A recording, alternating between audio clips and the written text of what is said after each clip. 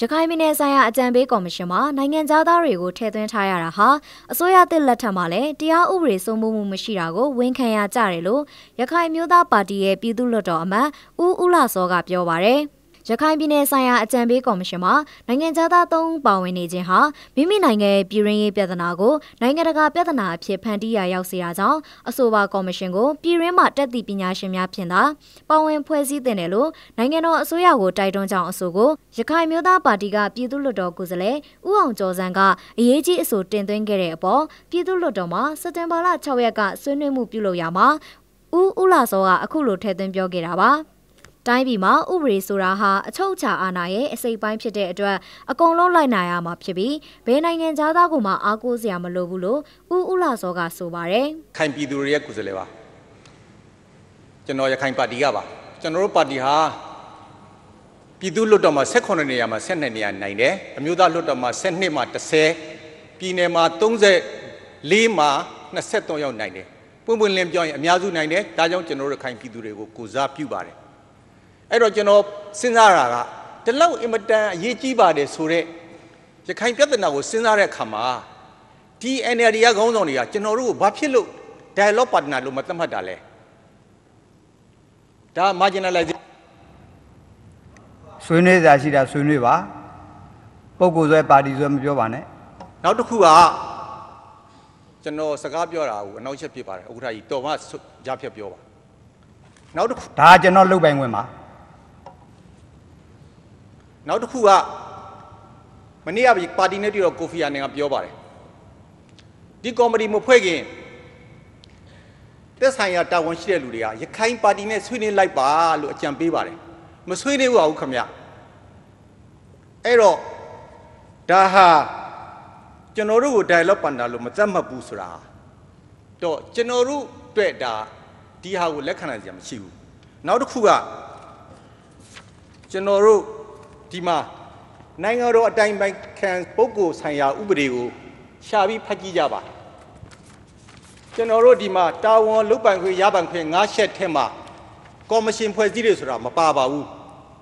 ဥပဒေရဲ့အပေါ်ကိုရောက်နေပါတယ်ဒါကြောင့်ဒီကော်မတီဟာကျွန်တော်အမြင်ရတော့ legitimacy မဖြစ်ဘူးဆိုတဲ့တစ်ချက်နောက်တစ်ချက်ကနိုင်ငံသား၃ယောက်ပါတယ် NLD ကဖြစ်ဖြစ်ရှင်းပဲဖြစ်ဖြစ်ဗမာပဲဖြစ်ဖြစ်ကရင်ပဲဖြစ်ဖြစ်ထဲပါ နိုင်ငံတကာအသိမှတ်ပြုတဲ့ပညာရှင်တွေအများကြီးရှိပါတယ်ကျွန်တော်တို့အဲ့တော့နိုင်ငံသားတွေခေါ်ပြီးပြင်ပြီးထည့်တယ်ဆိုတာကျွန်တော်နိုင်ငံရဲ့ဂုဏ်သိက္ခာအများကြီးထိခိုက်ပါတယ်ကိုဖီအာနန်ကနိုဘယ်ဆုရတယ်ကိုဖီအာနန်နိုဘယ်ဆုရမယ်အခုကဘာကြီးမှာဘာဖြစ်နေသလဲလေ့လာကြည့်ကြပါနောက်တစ်ခုက UN ယန်ဟီလီလာတော့ရခိုင်ပြည်ကိုပြဿနာသယ်လာတဲ့အတွက်ကြောင့်ရခိုင်ပြည်သူတွေကယန်ဟီလီကိုအလိုမရှိဘူးပြောခဲ့တယ်အဲ့တော့ UN ကိုလည်းသိအကောက်မထင်ပါနဲ့ကောင်းတာရှိသလို UN မှာ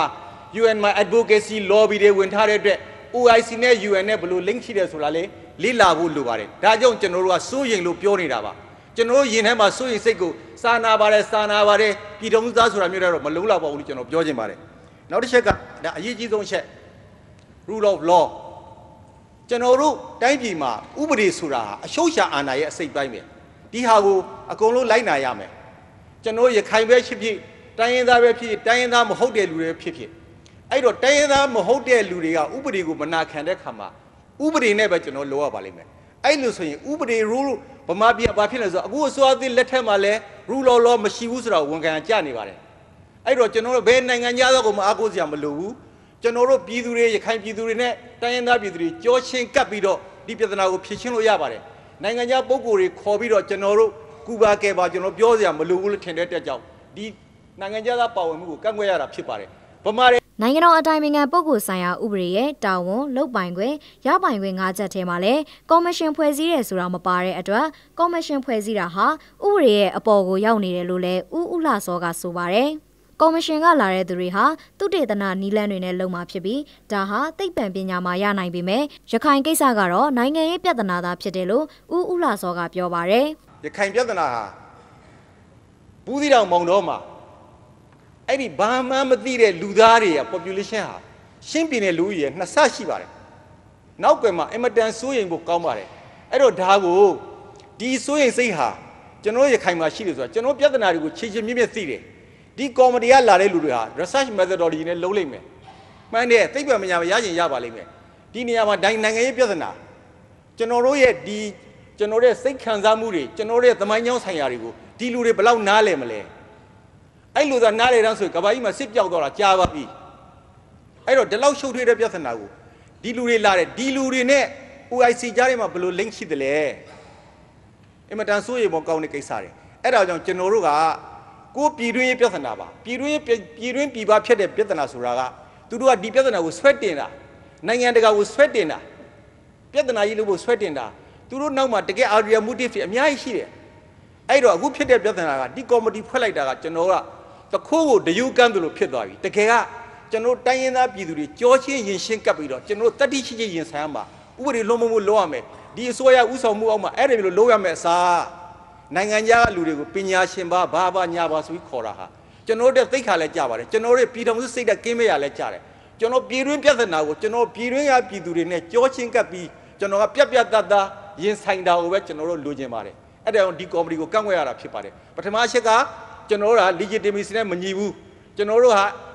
democratic ethical ethically ethic democratic ethic အရကျွန်တော်တို့ကို dialogue partner လို့မသတ်မှတ်ဘူးဒါဟာ democracy စံနှုန်းတွေကိုတန်ဖိုးမထားတာဖြစ်ပါတယ်နောက်တစ်ချက်က